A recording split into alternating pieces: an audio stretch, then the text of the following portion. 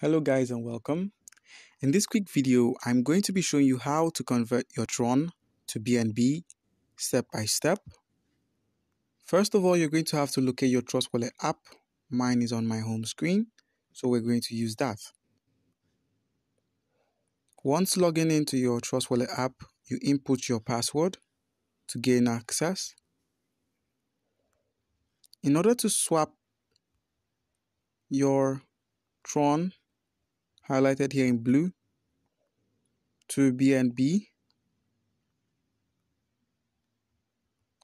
You could use the local me method, that's the Trust Wallet method, by simply tapping swap, which is at the top corner of your screen, in the with the arrows going in different directions.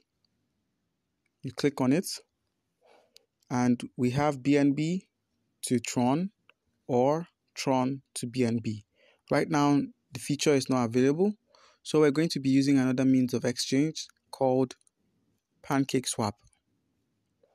In order to get to Pancake Swap, you're going to have to click on the DApps section below the screen at the bottom right corner. And now we're going to be looking for the Pancake Swap, which is highlighted here. And you click on it and it takes you directly to their site. You give it some time to load. And we're in. First of all, you're going to have to search for the BNB or the Tron, whatever the case might be.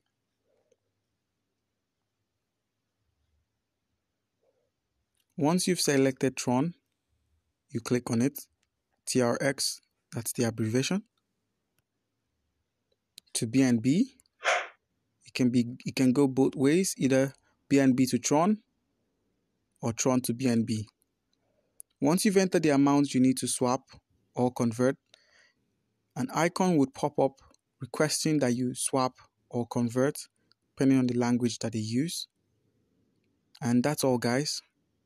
Thank you for joining us today and if you have any questions regarding to how you can convert your Tron to BNB, comment down below. And thank you.